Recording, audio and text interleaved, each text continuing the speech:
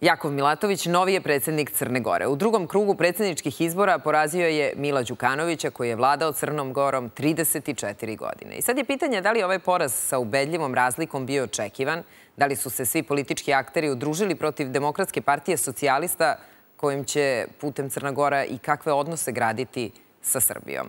O tome ovoga jutra razgovaramo sa mojim gostom u studijom, Nebojša Lazarević iz Centra za evropske politike. Dobro jutro, dobrodošli. Dobro jutro. Iz Podgorice nam se javlja Marija Petrović, ona je novinarka Tanjuga koja je pratila i od petka bila e, i jeste i dalje u Podgorici. Marija, e, dobro jutro. I samo ću reći da ćemo uključiti Vladimira Pavićevića, direktora Društva za istraživanje politike i političke teorije. Gospodine Pavićeviću, dobro jutro i hvala vam što se uključujete u Uranak.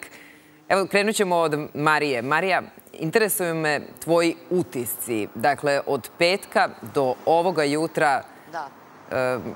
kako vidiš ovaj izborni proces i pobedu Milatovića?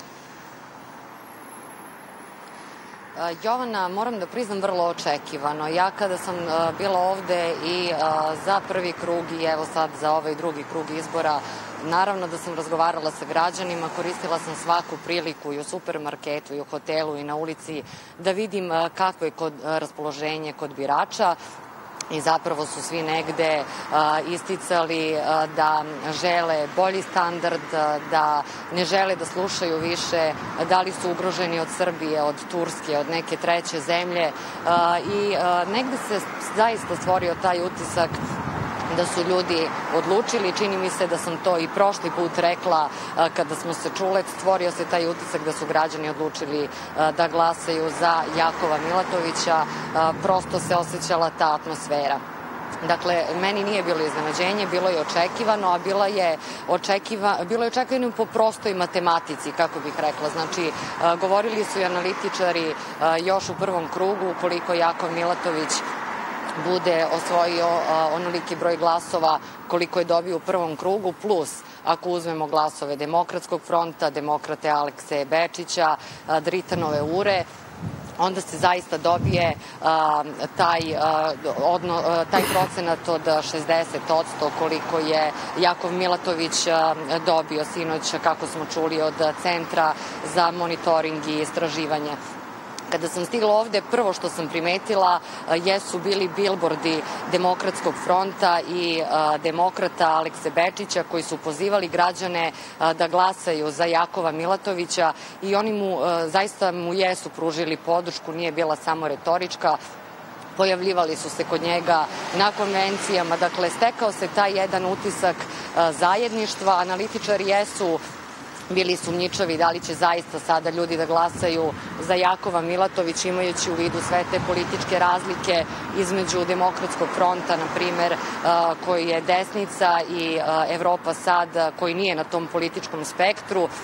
I, na primer, Drita Nabazović je podržao, podržao Aleksu Bečića, pa se to nije odrazilo na Bečićev rezultat. Dakle, jesu bili sumnjičavi, ali a, izgleda da a, je u praksi a, upravo se desilo suprotno tih nekih očekivanja i da Jakov Milatović je ubedljivo pobedio Mila Đukanovića, mislim, prosto nema više tu prostora da, da bude drugačije.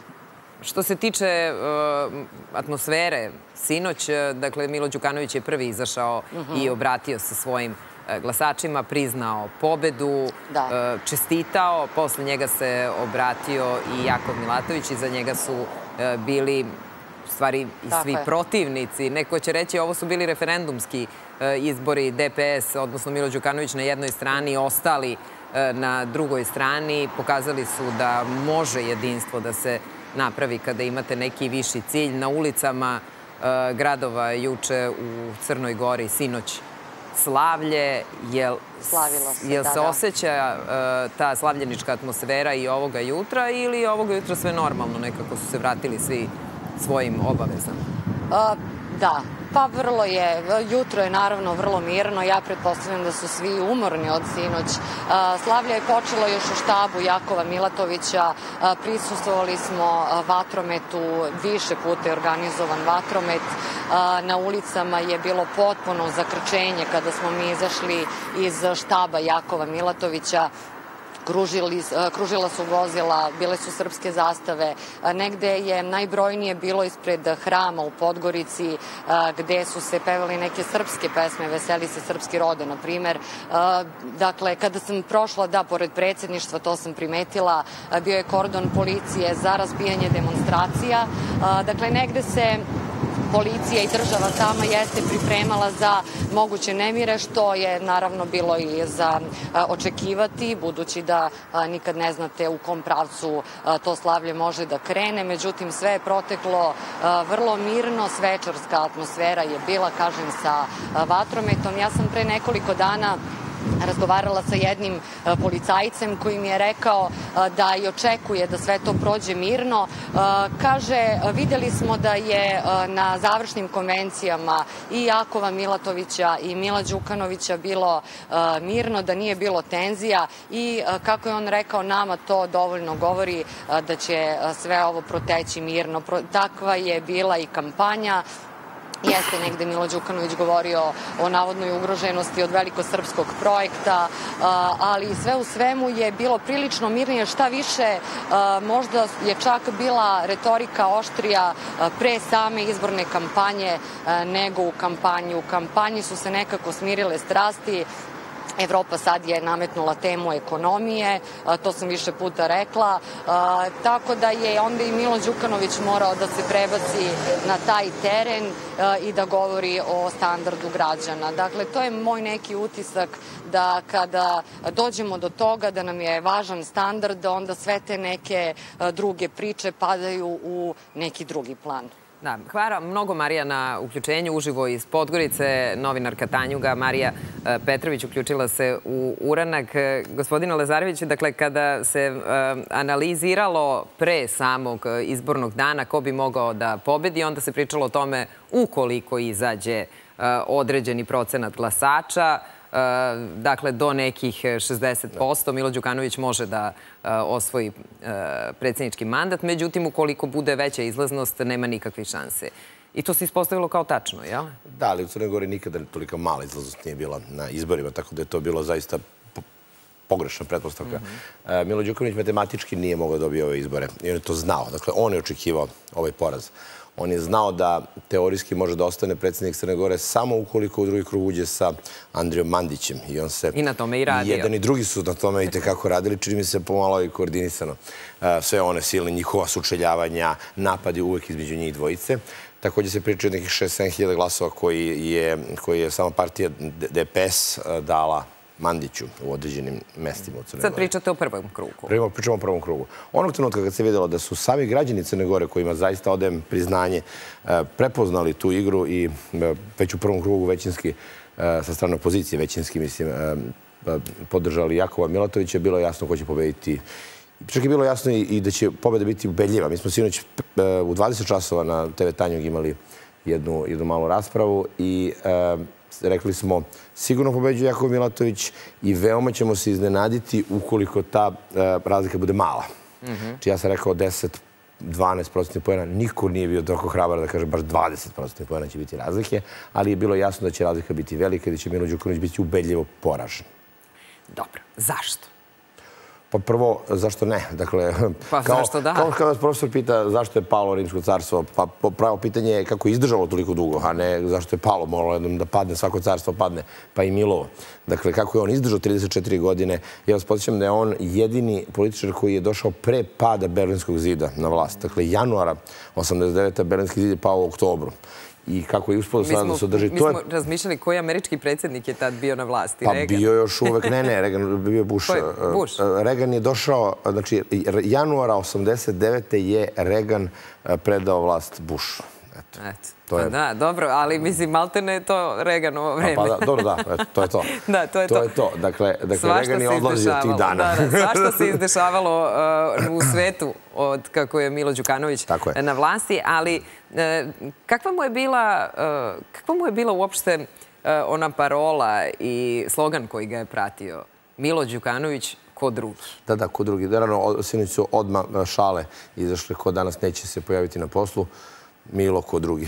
Tako da, da, da, Mislim da je njemu bilo jasno da je ovo Labudova pesma. Mislim da će on odigrati još jednu kao da kažemo uslugu svojim e, partijskim kolegama iz DPS-a i pokušat će da ih vodi ili makar da značajno učestvuje u ovoj parlamentarnoj kampanji koja će se dešavati u, maju mesecu i 11. juna mhm. biti krunisana izborima to će omogućiti njima da, ne, da, ne, da se ne raspadnu i da ne prođu baš, baš, baš, baš loše na tim A da li će morati da, u stvari, na te parlamentarne izbore, sad kad su uhvatili DPS-a, mm -hmm. preći ćemo i na priču o Milatoviću, e, da li će DPS i da li je u stvari jedini način da DPS prođe i uradi nešto da se reformiše? Da li je u stvari jedini način da krene bez Mila Đukanovića e, na izbore. Da li je prvi krug u stvari stvarni pokazatelj, kad kažem prvi krug, mislim na prvi krug predsjedničkih izbora, stvarni pokazatelj odnosa stanja i partija u Crnoj Gori. Ipak je Milo Đukanović osvojio najveći broj glasova, je li tako, od svih e, ostalih da. E, kandidata. Milo Đukanović dobio 35%, što nam govori da sam DPS bi vjerojatno dobio čitavih 30. Ali Pre, što nije malo. Ali pre dve nedelje. Sada, ali pre dve nedelje. Da, da, pre dve nedelje. Uvek tako dugo vladajuće partije, uvek imaju makar jednu trećinu glasova koji dolaze zato što su vladajuća partija. To su ljudi koji možda nisu korumpirani, nisu bezobrazni, nisu, nisu mm, da kažem, deo neke partijske e, elite, ali su to ljudi koji zbog svojih karijera e, po pravilu glasaju za vladajuće stranke. Dakle, od tih 30% otkinite sada odmah 10 posle, posle sineća. I ja ne verujem da oni mogu 20-ak da, 20 mogu da osvoje i to sa Milom Đukanovićem na čelu. 25 maksimum. E, pre nego što uključimo uh, gospodina Pavićevića iz Podgorice, evo da uh, čujete u stvari ko je Jakov Milatović. Jakov Milatović je rođen u Podgorici 1986. godine. U tom gradu se i školova, a osnovne studije završio je na Ekonomskom fakultetu Univerziteta Crne Gore sa svim desetkama. Jakov Milatović bio je stipendista američke i austrijske vlade kao i Evropske komisije. Magistarske studije u oblasti ekonomije završio na Univerzitetu Oxford kao stipendista britanske vlade. Milatović je po završetku studija radio u nekoliko banaka. Od 2014. godine bio je deo tima za ekonomsku i političku analizu u Evropskoj banci za obnovu i razvoj. Od 2018. do 2020. godine je u Bukureštu radio kao glavni ekonomski analitičar EBRD-a za Rumuniju, Hrvatsku, Sloveniju i Bugarsku. Napisao je više stručnih radova, ako autori dve knjige. U politički život Crne Gore ulazi kao jedno od iznenađenja posle parlamentarnih izbora 2020. Milotović je tada postao deo crnogorske istorije. Vladajuća većina sastavljena od više partija svrgnula je strona DPS Mila Đukanovića. Milotović ulazi u vladu Zdravka Krivokapića kao ministar za ekonomski razvoj. Ta vlada nije dugo izdržala, a po izglasavanju nepoverenja Milatović je zajedno sa bivšim ministrom financija Milojkom Spajićem osnovao pokret Evropa Sad u junu prošle godine. Na lokalnim izborima u Crnoj Gori u oktobru prošle godine PES je osvojio najveću podršku u Podgorici i najavio formiranje vlasti sa strankama pobednicama parlamentarnih izbora 2020. Milatović je bio viđen u ulozi gradonačelnika Crnogorske prestonice. Kao predsednički kandidat pojavljuje se silom prilika, tek nakon što je Državna izborna komisija odbacila kandidaturu njegovog partijskog kolege Spajića. U prvom krugu izbora nije važio za jednog od favorita, ali je ponovo iznenadio i osvojio 28,9% glasova. Rezultat koji mu je omogućio prolazak u drugi izborni krug. Gospodine Pavićeviću, dobro jutro. Dugo se nismo čuli i drago mi je da se uključujete u Uranak. Kako vi vidite ovo? Jel vi vidite ovo kao proces promene koja je krenula avgusta 2020. i e, nekako do danas e, traje u kontinuitetu ili imate neko drugo objašnjenje? Ma evo, ja sad imam mnogo napomena, ovako, budući se nismo čuli neko vrijeme da saopštim povodom ovih prilika u Crnoj Gori, naročito povodom ovih izbora koji su juče održani i kojima smo mi došli do punog razlošćivanja Mila Đukanovića. Samo da vam prethodno kažem, atmos, vi ste pominjali atmosferu, kakva je atmosfera, jutro, ure, pa to je slavlje do zore. Bilo jutro žirom Crne Gore, svi smo slavili. Premrežile su se zastave. Ko je tu bio? Evo Marija Jasna i kada je bila u prvom krugu. Znaš šta je to? Trobojke, crnogorske državne zastave to je stvarno jedna slika, što se kaže, pomirene Crne Gore. Onda, to je i pjesma bila jedan hit, se ovako izdvojio i sad zanimljivo je dosta jedan hit, još je ono s kraja 80-ih Zorice Marković, lite, kiše, hladne vode, Milo ode, mi to se, znaš da, pa to se pjevalo širom Crne Gore i da vam kaže, ono što je zanimljivo i što je tu atmosferu, ja mislim, omogućilo da bude upravo takva je, što je Jako Milatović, pobjedio u svim krajevima Crne Gore. Kada uzmete sada rezultate po regijama, opštinama, nema kraja Crne Gore u kojem je Milo bio jači. Znači, Jakov je svuda pobjedio, to isto pokazuje malo kakva je neka atmosfera u Crnoj Gori, šta građani misle prije svega o Milu, a onda naravno i Jakovu kao pobjedniku i sad tu možemo da dođemo do jedne analize. Evo, vi ste sad tu rekli, ja sam spreman za jednu priču, pa vi prekidajte ovako. Ne, ne, neću da vas prekidam. Ne, ne, baš me interesuje. Koja je E. analiza? Odlično. E, analiza je ovako. Prvo, mi smo dakle došli do punog razlašćivanja Mila Đukanovića i Milovog DPS-a, što je, ja mislim, prirodno, logično finale jednog procesa koji je počeo onom velikom pobjedom od 30. avgusta 2020. godine. Dakle, tada smo, kada smo razvlastili e, DPS u, iz vlade, kada smo ih stavili u opoziciju Skupštinu Crne Gore, mi smo tada vidjeli, ovo je još uvijek neko meko razlašćivanje, jer Milo ostaje na funkciji predsjednika države. Kada dolazimo do punog razlašćivanja? Na izborima za predsjednika države i to je bilo sada drugoga aprila, tako da svako ko je malo ovako bolje upućen u prilike, znao je, slijedeći neku elementarnu logiku u politici, da će najvjerovatnije da se desi ovo puno razvlašćivanje Mila juče, dakle 2. aprila. Druga stvar, što može da bude, ja mislim, zanimljivo za neka promišljanja o daljim procesima. Dolaze parlamentarni izbori 11. juna. Ti parlamentarni izbori, tu isto nema nikakve dileme, donijeće novu arhitekturu političke scene u Crnoj Gori. Ta nova arhitektura podrazumijevaće da je DPS sada ovako na neki način postao irelevantna stranka. Njen uticaj će biti još manji nakon parlamentarnih izbora, a šta će se desiti? Parlamentarni izbori 11. juna bit će prilika za odmjeravanje snaga između pobjednika od 30. avgusta. Šta to znači? To znači da su za ove dvije i po godine potpuno učvršćeni ideali te avgustovske pobjede iz 2020. godine. DPS je ovako potpuno sklonjen, a u prvi plan izbija jedno vrsto takmičenja između pobjednika od 30. avgusta 2020. godine. I vi ste sada u razgovoru tu sa Lazarevićem, ja mislim, pomenuli DPS. Da li Jeste. može nešto Ja sam pitala da u stvari, ne, ali ja sam pitala da li će biti, šta on misli, da li će pravac DPS-a, pošto smo samo pričali o Milu Đukanoviću i o DPS-u, da li će pravac DPS-a biti neka vrsta potpune rekonstrukcije stranke da bi se išlo na ove izbore vanredne parlamentarne ili to neće Milo uraditi jer nema potrebu za tim jer ipak je osvojio 30%, 30 i nešto posto na predsjednički. Tu su dvije stvari.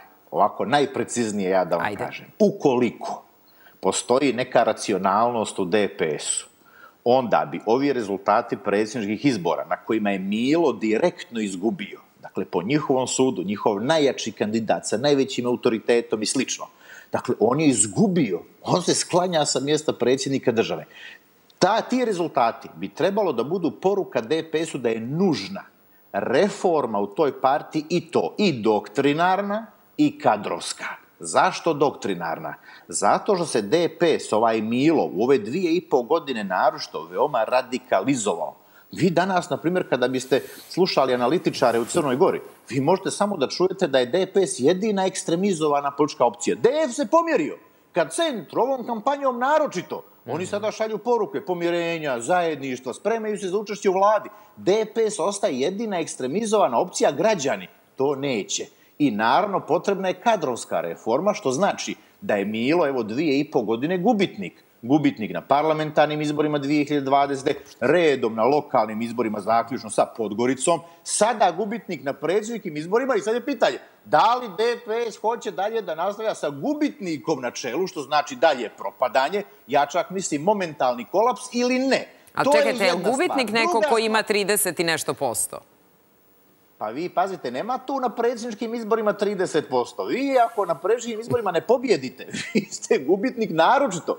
Ako ste u situaciji kao što je Milo, da je 34 godine bio neprikosnoven, apsolutna moć, upravljao, vedri, oblačio Crnom Gorom i ako vi izgubite na prvi vi ste onda gubitnik, nema tu nikakve dileme i vidjet ćete. Na parlamentarnim izborima to će da znači dalji, ja mislim, drastični pad DPS-a, narošto ako Milo ostane na mjestu šefa stranke. E sad je pitanje, I ja mislim to može za vas da bude posebno relevantno. Da li ovako možemo da naslutimo na osnovu Milove izjave sinoći, to sprema li se ta vrsta reforme? Pa šta vi mislite? Meni ne deluje, moram vam reći. Vama deluje? Ne, ne, ne deluje. Ne deluje mi. Ne. Ostaje, ostaje. ne. Pa Milo, nema nikakve dileme. Milo ne želi reformu. Milo je ušao i u ovu kampanju za izbore za predsjednika. Ili, iako se znalo da su mu šanse male, nikakve. Zbog toga što je smatrao, jao, imamo sada reformisano tužilaštvo, suočava se sa strašnim optužbama ovdje, prije svega od političkih autoriteta. Ovo tužilaštvo radi punom parom. Milo kaže, jao, znaš šta, iako mi su mi možda šanse male, ja idem na borbu na sve ili ništa, jer mi je ipak u ovim okolnostima koji imamo potreban taj imunitet, to je 100%.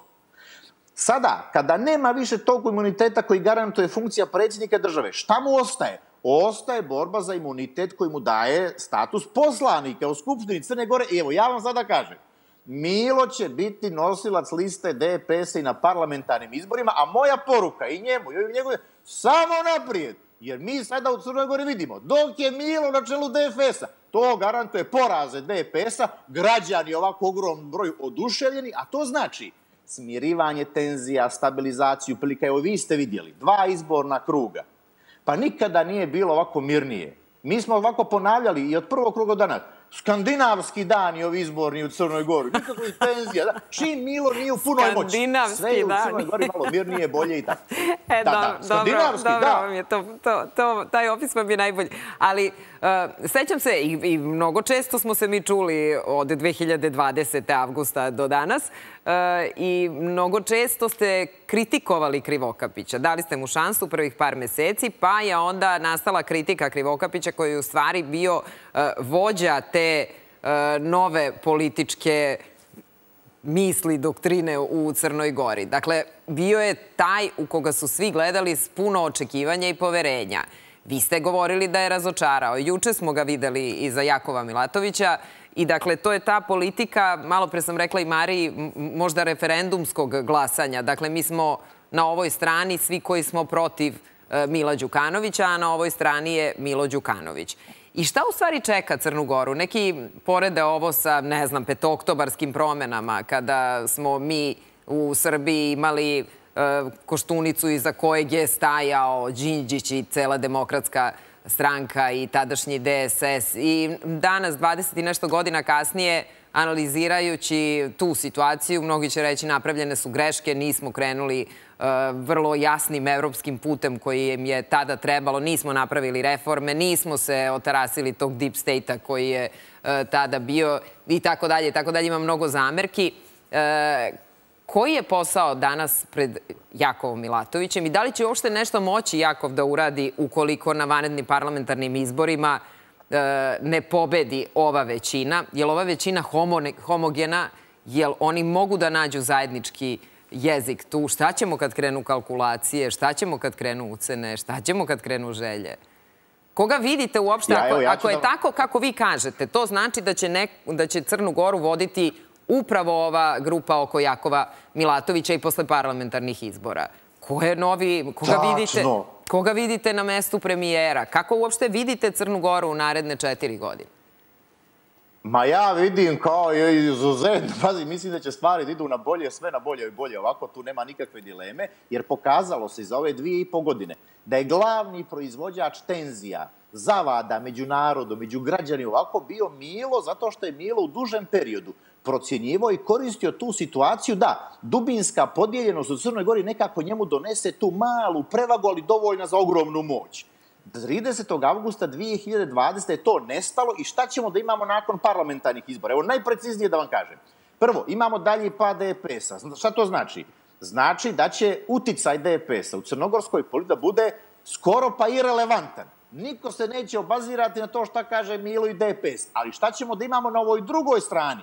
Imaćemo sada takmičenje između pobjednika od 30. avgusta oko toga ko će da bude uticajniji, moćniji i parlamentarni izbor 11. juna bit će zanimljivi u tom smislu. Jer šta vi sad već imate? Vi sada već među ovim pobjednicima od 30. avgusta, kada zanemarimo Evropu sad, Jakova Milatovića, mi već imamo ovako mali strah od moguće ekspanzije pokreta Evropa sad Jakova Milatovića, Milojka Spajića i drugih ljudi koji su tamo. I kao reakciju na to, vi već imate jedan dogovoreni blok. To je blok demokrate URA koji se naziva ovako građanski blok i najvjerovatnije će da će Drita Nabazović i Aleksa Bečić zajedno da idu u koaliciji na parlamentarne izbore i da vidimo da li, na primjer, i SNP Vladimira Jokovića ide tamo. Onda imate demokratski front koji se sada ovako rado sjeća onog velikog rezultata koalicije za budućnost Crne Gore iz 2020. To je bilo skoro 33 odsto. I ja mislim da demokratski front ima sada plan kako da oni preko svoje koalicije pokušaju da ostvare ponovo takav rezultat ili približan tome i gledaju takođe, na primjer, aha, da li SMP ima mjesta i tu? Imaćemo onda Evropu sad i imaćete tri velika bloka koaliciona na izborima 11. juna, a sva tri bloka će sebe identifikovati sa onim idealima od 30. augusta 2020. godine i bit će takmičenje između njih. Šta je dobro? Dobro je što scena neće biti izmrvljena onoliko kao što je bilo u Srbiji posle 2000-te. Sjećate da je tada vladu činilo 17 stranaka, 18 stranaka, više je bilo stranaka nego ministara. Ovdje, na primjer, nemamo to, nema takvog mrvljenja, velike fragmentacije, nego ide se u tri bloka i onda će predsjednika vlade da da onaj blok koji ostvari najbolji rezultat i vidjet ćemo ko će to da bude i bit će veliko takmičenje. Sta ja mislim da je tu dobro. Dobro je što se takmiči između sebe. Svi oni koji baštine 30. avgust, to je sa stanovišta stabilizacije prilika u Crnoj Gori, pomirenja među građanima ovdje, fantastična stvar. A pomirenja sa Srbijom, i ja smo u svađe uopšte danas? E, E, a evo, ajde, može, evo, pa ću Da, vas. da, da, dobro. Pa to je uvijek tema. Znaš, odnosi Srbije i Crne Ajde. Gore, narošto sada, u ovom post-Đukanovićevskom vremenu, mi to kažemo post-Đukanovićevska era crnogorske politike. Šta je tu važno? Ja bih izdvojio tri stvari. Jedno je, Jako Milatović je u ovoj kampanji rekao, kada budem izabran za predsjednika države, prvo idem u Brisel i u Beograd. Šta je znači njegova poruka? Evropska ideja mu je ključna, probaće Crnu Goru da uključi u Evropsku uniju. Druga stvar, pa Beograd je najbliži. Moraš da razvijaš te, ma ne da moraš, nego to je nekako prirodno, logično. Kada gledaš građane tamo, amo, pa onda je Jakov rekao najnormalniju stvar i to je dobra poruka. To je poruka koja se naslanja i na politiku ove Dritanove i Jokoviće vlade, koja je već u formalnom smislu mnogo radila na unapređenju formalnih odnosa između Srbije i Crne Gore. Druga stvar, Milatović je rekao još jednu važnu stvar, ja mislim, evo gledaoci mogu da sada malo sude. Veliko je pitanje u Crnoj Gori državljanstava. Ljudi u Crnoj Gori najčešće nemaju pravo da imaju i crnogorsko i srpsko državljanstvo, a mnogi žele upravo zbog tih iskustava, života, familija koje su tamo, vamo, povezanosti, premreženosti, sva da, ne, prirodno da daš čovjeku to pravo. Sada je taj crnogorski zakon restriktivan. Jakov je najavio da će jedna od stvari koje će inici- inicirati biti promjena ovog restriktivnog zakona o državljanstvu u Crnoj Gori, koja bi trebalo da dovede do toga da ljudi imaju pravo i na crnogorsko i na srpsko državljanstvo, što bi bila jedna tačka kojom bi se također relaksirali ti odnosi, naročito odnosi kada, životi ljudi. I treća stvar, mi već imamo jedan veliki događaj prošle godine koji u Crnoj Gori ovako organizovan, a to je potpisivanje temeljnog ugovora sa Srpskom pravoslavnom crkvom. To je bio takođe jedan od velikih koraka ka unapređivanju tih odnosa kada tom koraku i još nekima dodamo i ova dva za sada koja najavljuje, najavljuje, Milatović, a onda vidjet ćemo kakva će da bude vlada. Ja mislim da ono što slijedi jeste rad na brzom, brzom unapređivanju i formalnih odnosa, ono što kod vas često pominjemo. Da formalni politički odnosi prate ono što već imamo u životu kao izvanredne, perfektne odnose među ljudima i komunikacije. među Ostanite na vezi, samo, e, dakle, apropo Brisela i Srbije. Evo, izašlo je i analiza u austrijskim i nemačkim medijima, apropo, koji kažu da su s pažnjom pratili, inače, e, rezultate i celu izbornu kampanju u Crnoj Gori. Kažu da je, e, Austrijanci kažu da je politika i politička linija novog predsjednika potpuno nejasna Kažu da njegova partija Evropa sada, koja promoviše populističke teme kao što su povećanje plata i veći prosperitet, je osnovana tek prošle godine, da je rekao da će biti političar koji će Crnu Goru uvrsti u Evropsku uniju, ali kažu malo se zna o njegovim geopolitičkim namerama, ne samo u Crnoj Gori, već i u Evropi i u Americi. Prozapadne snage su zabrinute da bi Crna Gora pod Milatovićem mogla da dođe pod pojačan uticaj Srbije, ali onda indirektno i Kremlja, dakle, navode da se trećina građana Crne Gore istišnjavaju kao e, Srbi. Kažu da Milatović nikad nije zauzeo jasan stav o osetljivim pitanjima, a to su odnos prema Srbiji i Rusiji i ulozi Srpske pravoslavne crkve. Što je to problem Nemcima i Austrijancima? To mi se da je pisao neko ko nije baš Nemac, nego da je sa ovih prostora, ko zna malo više i, i tendencijozno, verovatno. Eh, on, eh, Milatović i Spajić uživaju jednu prilično dobru podršku na Zapadu eh, i, i u Sjedinjeničkim državama i u Evropskoj uniji.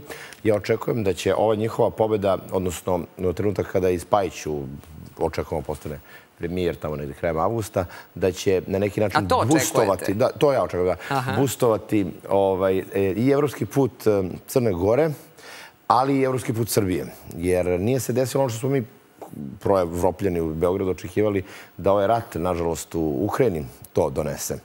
Uh, više se priča o nekoj budućoj integraciji Ukrajine nego što se priča o Zapadnom Balkanu. Mislim da ako Crna Gora sada ponovo krene, jer znači ona otprilike dve godine uh, prednjačila u odnosu na Srbiju u pregovorima, otprilike u nekom, makar formalnom smislu, uh, očekujem da, se, da, to dođe, da to dovede do nekog pojačanog, pojačanog rada na pregovorima. Mi smo E, čak i u vreme naj, e, najantisrpskije, da tako kažem, politike Mila Đukanovića, e, mi, članovi, recimo, pregovaračkog tima Srbije za pregovore sa Evropskom unijom, smo na profesionalnom, ljudskom, svakom drugom planu svakodnevno srađivali s kolegama iz Crne Gore, bez ikakvih problema, bez ikakvih tenzija. Sada, kada, sada to može bude čak i deo neke državne politike, da zajednički radimo, budući da su Srbije i Crna Gora manje više blizu u tom procesu. Dakle, vidite Mila u penziji, ja? Mila definitivno u penziji, ali slažem se sa... Ajde sada da slažemo u svemu. Uh, jedino što se ne slažem sa Pavićevićem jeste da, da će uh, DPS uh, više da izgubi ako, ako Milo ostane. To nije tačno, meni se čini. Mislim da će da Milo Đukanović će da, da vodi tu listu, iz razloga koje je Pavićević i naveo, e, da vodi tu listu 11. juna i da će to da njima omogući da ipak se ne raspadnu i da ne dobiju suviše malo glasova koliko bi dobili ako bi neko ko je manje bitan od Mila Đukanovića vodio tu stranku ono što je također interesantno, veća šansa da se reformiše i kasnije uđe u neku buduću vladu DPS ako dobije 10-15% nego ako dobije 25%. Mm da.